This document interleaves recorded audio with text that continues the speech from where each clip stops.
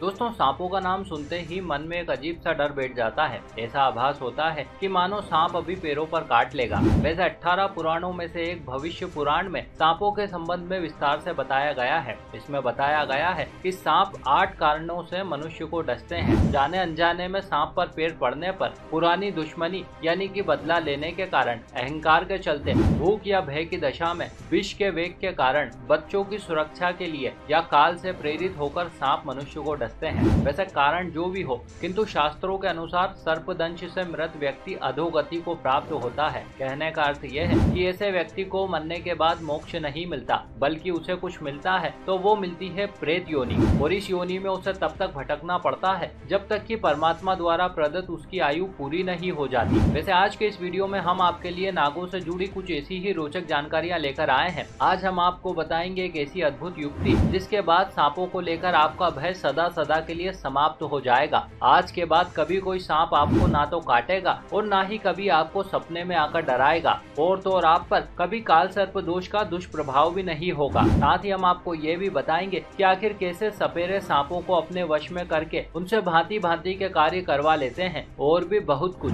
लेकिन कथा शुरू करने से पहले यदि अभी तक आपने चैनल को सब्सक्राइब, वीडियो को लाइक और शेयर नहीं किया है तो जल्दी से कीजिए, ताकि आगे भी आपको महान सनातन धर्म से जुड़ी ऐसी ज्ञानवर्धक व रोचक जानकारियाँ प्राप्त होती रहे। नमस्कार और एक बार फिर स्वागत है आप सभी का आपके अपने वीडियो कलेश यूट्यूब चैनल पर। महर्षि कश्यप की पत्नी कद्रु ने एक हज़ार नाग पुत्रों को जन्म दिया। उन्हें हम शेष नाग वासुकी, पद्म, महापद्म, तक्षक पुली करकट व शंखनाग के नाम से जानते हैं। इनमें शेष नाग सबसे प्रमुख हुए। इन्हीं की शैया पर भगवान विष्णु विश्राम करते हैं। इतना ही नहीं, अपितु विष्णु जी जब श्री राम का अवतार लेकर धरती पर आए, तब शेष नाग लक्ष्मण का अवतार लेकर उनके साथ आए और जब प्रभु कृष्ण बनकर आए, तब भी वे बलराम के रूप में उनके साथ आए। इसी प्रकार से वासुकी है। जिन्हें देवादि देव महादेव ने अपने गले में धारण किया है और बाकियों ने भी भारत भूमि पर अलग अलग स्थानों पर राज किया। कहते हैं, आज का तक्षशिला, पौराणिक काल में राजा तक्षक का ही राज्य हुआ करता था। लेकिन दोस्तों, उन सभी सांपों में सबके सब अच्छे नहीं थे। कुछ तो अति दुष्ट प्रवृत्ति के थे। उनके प्रकोप से मनुष्य तो क्या, यहाँ तक कि देवता और असुर भी भयभीत रहते थे। अतः उनके बुरे कृत्यों की सजा उन नागों को भी भोगनी पड़ी, जिनका इसमें कोई दोष नहीं था। चलिए जानते हैं कैसे। ये बात महाभारत काल की है। जब जन्मजय को यह पता चला कि उसके पिता राजा परीक्षित की मृत्यु तक्षक नाग के डसने से हुई तब उसने प्रतिशोध के चलते विश्व के सभी सांपों को मारने का निश्चय किया।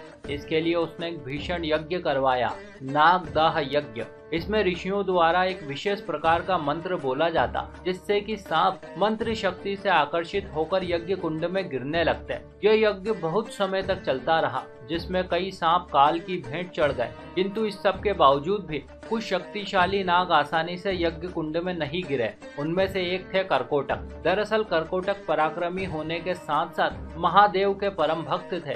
अतः उन्होंने उज्जैन स्थित बारह ज्योतिर्लिंगों में से एक बाबा महाकाल की शरण ली। फलस्वरूप उन पर नागदाह मंत्र की शक्ति का कोई असर नहीं हुआ। वैसे जिस स्थान पर नागदाह यज्ञ हुआ, वो स्थान उज्जैन के पास नागदा शहर स्थित नाग टेकरी के नाम से आज भी विख्यात है। इतना ही नहीं अभी तो जहाँ करकोटक ने महाकाल की स्तुति की, वो स्थान उज्जैन में हरसिद्धि माता मंदिर के प्रांगण में करकोटेश्वर के नाम से विख्यात है। अब बारी तक्षक की थी। ऋषियों ने जैसे ही तक्षक के नाम की आहुति देना प्रारंभ की, वैसे ही वो अपनी जान बचाकर भागा। वो देवराज इंद्र की शरणागति हो गया। तब मजबूरी में इंद्र को उसे संरक्षण देना पड़ा। किंतु जब ऋषियों को अपनी दिव्य दृष्टि से इसका भान हुआ तो उन्होंने तक्षक के साथ साथ इंद्र के नाम की भी आहुति देना प्रारंभ की। जिससे भयभीत होकर इंद्र ने तुरंत ही तक्षक का साथ छोड़ दिया। फलस्वरूप तक्षक मंत्र की शक्ति के प्रभाव से यज्ञ कुंड के समीप जा पहुँचा। परंतु इससे पहले कि वो यज्ञ कुंड में स्वाहा होता।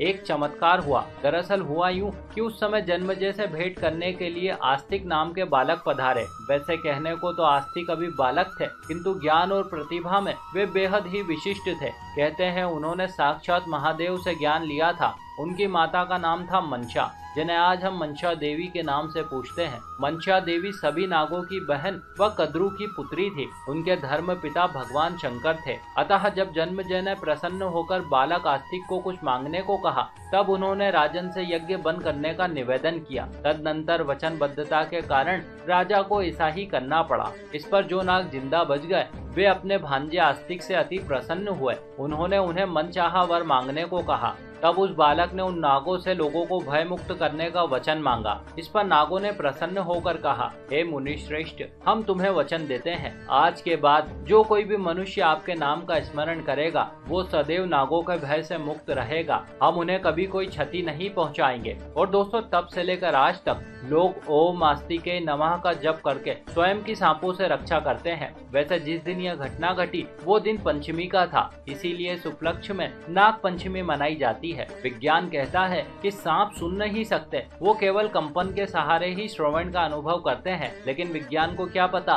कि मंत्रों में दिव्य शक्तियाँ होती है। भले ही ये मंत्र उनके कानों तक ना पहुँचे, परंतु मंत्र शक्ति से ये तुरंत ही अपना क्रोध, त्याग, शांत होकर अपना रास्ता बदल लेते हैं। आज भी कई लोग रात बिरात सफ़र करते समय या खेत में काम करते समय इस मंत्र का उच्चारण करते हैं, ताकि वे किसी प्रकार की हानि से सुरक्षित रह सके। और तो और कई लोग ऐसी खतरनाक जगहों पर रहते हैं, जहाँ पर सांपों का प्रकोप हमेशा बना रहता है। अतः ऐसे में लोग अपने घरों के बाहर ओम आस्तिके नमः लिख देते हैं, जिससे कि सांप उक्त स्थान से हमेशा हमेशा के लिए दूर चले जाते हैं। इतना ही नहीं, अपितु जिस व्यक्ति की कुंडली में काल सर्प दोष हो, वो व्यक्ति इकतालीस दिनों तक यदि इस मंत्र की एक माला का प्रतिदिन जप करे तो उसकी कुंडली से काल सर्प दोष सदा सदा के लिए समाप्त हो जाता है। साथ ही साथ उसे सांपों के भयावह सपने भी आना बंद हो जाते हैं। वैसे जब कोई व्यक्ति सांपों के प्रति आस्था रखता है तो उसे कभी किसी भी दशा में सांपों को मारना नहीं चाहिए। अन्यथा कभी न कभी उसे या उसकी अगली पीढ़ी को अपने जीवन में भारी संकटों का सामना अवश्य ही करना पड़ेगा। यदि आपने कभी ऐसा किया है, तब तो ये मंत्र आपके लिए भी कल्याणकारी सिद्ध हो सकता है। विशेषकर ये मंत्र तक्षक जाति के लोग, यानी कि सपेरा समुदाय के लोगों द्वारा विशेष रूप से प्रयोग किया जाता है। और न सिर्फ़ ये मंत्र,